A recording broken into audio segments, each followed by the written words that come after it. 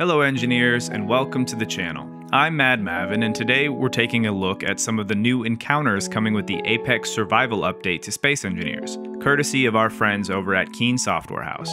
I'll start by briefly going over each encounter so you can get a feel for what's being added in the update, then I'll share some of my thoughts on what I've experienced, and finally, we'll do a more in depth breakdown of each encounter individually at the end. The first scenario we're diving into is the pirate encounter, which begins as you make your approach to a signal being broadcast from a distant asteroid. As you get closer, you suddenly receive a message. The pirates know you are coming, and they are enacting plans to stop you. You are suddenly met with countermeasures as two attack vessels are sent to intercept you, and the artillery on the base begins to take aim. Distracted by all that is going on, you miss the message that says launch, and it's too late. That was my experience anyway. But let's pretend you made it past the defenses. You managed to open the door and successfully disable the turret waiting for you on the other side. And let's just take a second to admire this scenario here. I don't know, it's just, it's really cool that this is part of Vanilla Space Engineers. Inside, you discover an outpost with valuable components and supplies. You check everywhere loot might be and discover data pads left by previous inhabitants. Justification. Ooh, interesting. With the threat neutralized, the question becomes do you strip this place of its valuables or keep this spot for your own? In the second scenario, you find your way to a seemingly unsuspecting asteroid. As you get closer, you realize there is someone else here, but they aren't too happy to have guests. Ooh, Crazed Miner, what? Who are you? Did you follow me? Oh, oh, that is so cool. Oh my gosh! Holy cow!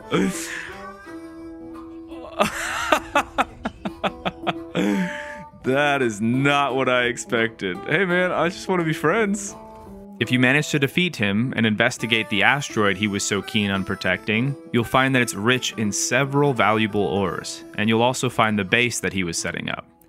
You begin to realize why he might have been so protective.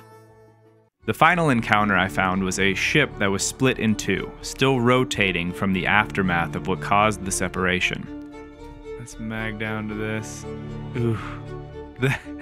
I love this, like, the slow rotating.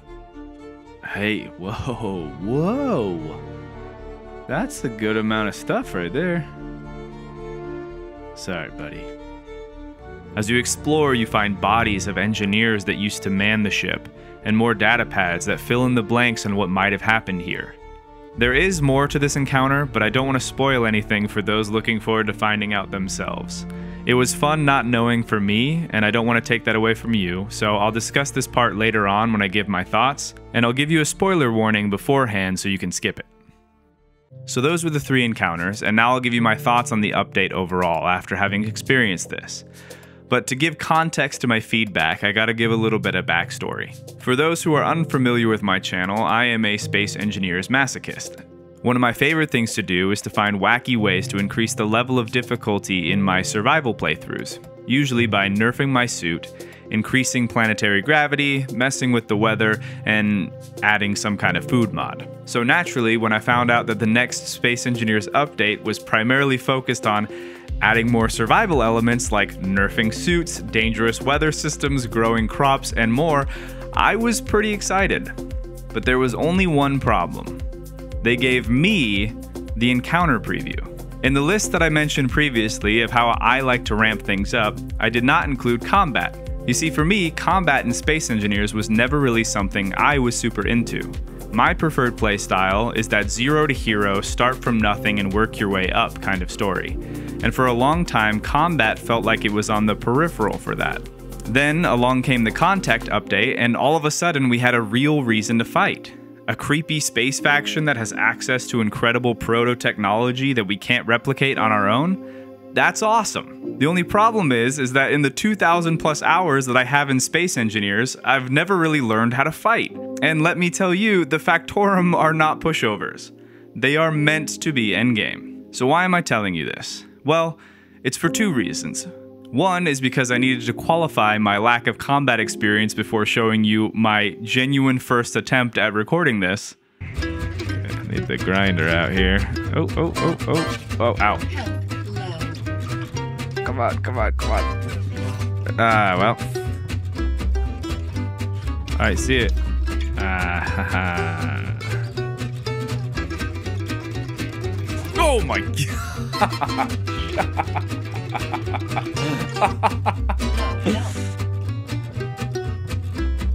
oh, I was looking right at it. Dang it. Dang it. Dang it. Ah.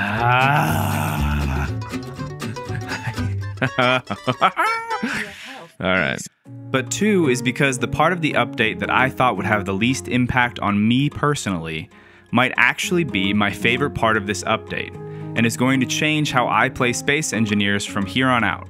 I really think Keen did a great job with this one, seeing a need and bridging a gap that would allow players like me to cross over and engage with content that I haven't bothered messing with up until now.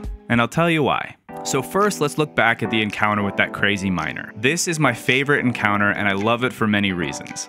And honestly, the first one is because I got got. I was so confused by this guy yelling at me and the drills that I didn't realize he had modified his otherwise unassuming ship, and I got blasted, and that genuinely made me laugh, which is obviously a plus. But mechanically, I think that this encounter is great because it adds an element of risk and reward to an otherwise monotonous task of checking asteroids for ore. Imagine doing your normal thing with your ore detector, and then all of a sudden, this crazy miner starts defending a random asteroid and you have no idea why. If I was playing the game like normal, I would have died in that encounter and respawned thinking, what is that guy protecting? There's gotta be something cool in there. Now, all of a sudden, there's a story built around the objective that I was already working towards. I wanted to get ore, this wild thing happened, and now there is an obstacle to overcome in order to get what I want. And at the end, you get rewarded for overcoming that obstacle. Both in getting the thing that you were looking for, plus a bit extra, and in learning more about the characters that inhabit this sector of space, which to me is also a major bonus. But I think the best part of this encounter is that it happens to you rather than you seeking it out. No more peripheral, this is part of your story about trying to accomplish your goal. And that alone changes everything. Next, let's talk about the pirate encounter a bit more. While this one did give me quite a bit of trouble, I really liked how it felt like a mini dungeon. And even though I got my butt handed to me, it did still feel like more of a mid game level threat rather than an end game threat. And I think that that point is really important but now I can clearly see that the miner encounter is an early game encounter, this pirate outpost is more of a mid game, and then fighting the Factorum is end game. Now I know where the entry level is, and with this pirate encounter, I know where I'm trying to build to. These are steps in the progression that gets you to the end game, and they help you learn and build confidence as you go. I also appreciate the fact that the loot from this encounter also feels mid game, it doesn't feel like if you take over this base, you'll never need resources again. It feels well balanced for the risk that you took to get there. Last thing about this encounter is that I really, really enjoyed the data pads. I'm a nerd and I like using my imagination, so having lore about the people who lived here adds a lot in my book. But one of the data pads in particular took center stage for me, and it was the to do list of things that needed to be fixed. Because everything on that list was actually broken on the base. And if you wanted to use this base, you'd be picking up where these people left off, continuing a story that was left unfinished, which to me is really cool. That leads me to the last encounter the split in half ship. I love this encounter because it felt so intentionally designed and deceptively simple on the surface. The two pieces subtly spinning, the debris everywhere, the bodies of the engineers, and the lighting effects. All of that did a great job of telling a story even before you find any data pads that corroborate what you already know to be true. But there's more, and if you don't want spoilers, this is the warning to skip to the next bit. So all of the little eye-catching details of this wreck were meant to pique curiosity while leading you to a button that says Reboot Systems. Oh. Uh oh. Oh. Of course it would do that. Of course it would do that. Why would it not do that? And here's that scene again from the outside. And here it is again if you click that button in the other half of the ship. I think one of the funniest parts of this encounter is the fact that after you get that message that basically says, Why did you think that was gonna work, you idiot? You go careening off into space, and the explosions don't kill you, and you are stuck inside of this spinning piece of space debris until you can grind your way out, and then you are just floating there in the aftermath. And again, I found myself laughing at falling victim to my own monkey brain. So well played, Keen, for that. Each of these encounters told a story. They pulled me in and piqued my curiosity. They provided a challenge to overcome and a reason to care about combat. And I only got to mess around with three. In the coming update, we are getting 30 of these types of encounters to add flavor to our stories among the stars. So make sure you come to the live stream on September 8th, and I'll leave a link in the description for that. Thank you so much to Keen for thinking of me and for making one of my favorite games even better. And I cannot wait to see what other surprises are waiting for me out there in space.